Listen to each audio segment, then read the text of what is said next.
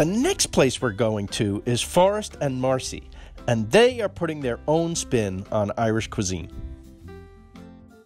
Hello. How are you? Are you Sandy from I, Queens? I am Sandy from Queens. I'm How Phil are you? from Queens. Queens as well. Lovely Yes. to meet you. Great to meet you. Sandy created this restaurant with her husband John, and they hired a Michelin starred chef named Kieran. With Kieran at the helm, Forest and Marcy is serving up traditional Irish flavors with a modern spin.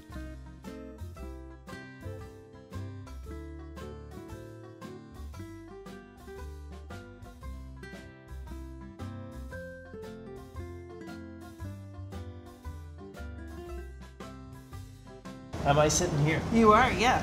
Nice. oh, to your health.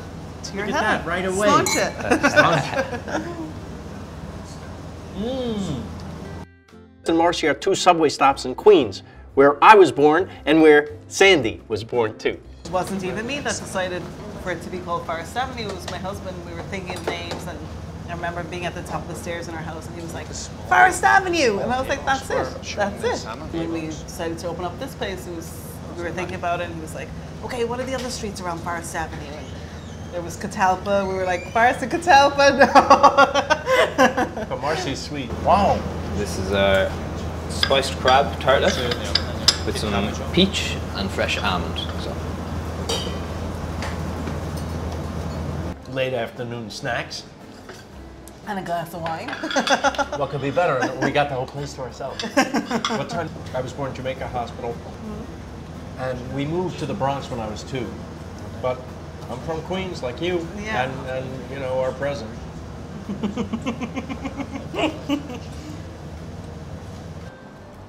Very nice. The next dish we get is one of Kieran's specialties. fermented potato bread. Uh, we have some bacon and cabbage relish. Yes. And a smoked bacon mousse. So it's a take on potato, bacon, and cabbage, but done my way, I suppose. So you have to tear and share. Tear and share. That's a good expression. So Kieran makes this uh, amazing fermented potato bread, and he's got this beautiful uh, cabbage and bacon. I already know it's good.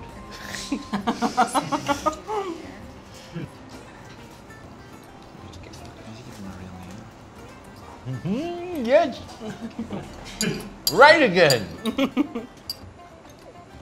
it's primal, isn't it? Yeah. Potatoes and it is. It's simple. It's not. Okay, there's a kind of gravy and a mm. like a bacon dressing. Up. Oh my god! But it's also a good representation of, I think, Irish food, you know, which is a lot of people think of Irish food as just stew and and actual bacon and cabbage and a white sauce. And That's not what I'm finding in my journey. No, I'm not. I'm finding, Finding a new story, yeah. Yep. There's been a, a complete renaissance. You know, if I compare being here 15 years ago to what it is now, it's two different worlds, you know. And I was here 10 years ago, and I see a big difference. Yeah.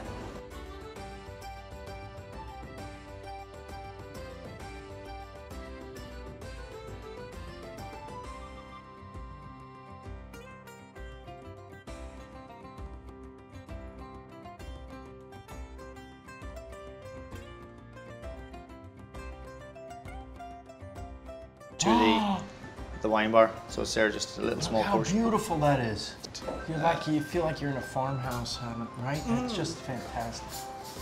Yeah, Yeah, so we're gonna plate that dish for you next and send it back out in two minutes. I would bite it right out of there. Forget So about the dish.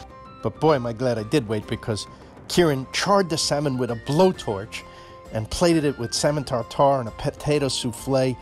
And then he finishes it off with seaweed and potato buttermilk. Isn't that beautiful? Thank you. Enjoy. Thank you. Mm. Lovely and fresh. This is what I want. You called it I call potato puff. restaurant, and they said, "Oh, you're cheese." And then bang! Kieran hits me with the cheese board. And then this comes. Hope you enjoy. Better get some more. Bless you. Here I go. I'm going for Ireland.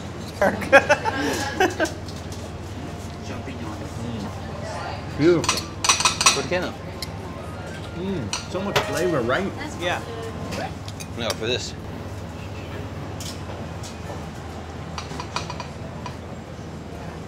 Goes very nicely with this wine. This becomes very fruity after you have that. You get this third flavor. Is that what? Didn't it change it? Yeah. Wow. You're right. That's Come so on! nice. Tell the That's people. the new pairing. We did it! Pairing. We'll get the best of both of those. exactly, yeah. That's a starter. yeah. This is all adapted from Grandma, but updated. Wonderful.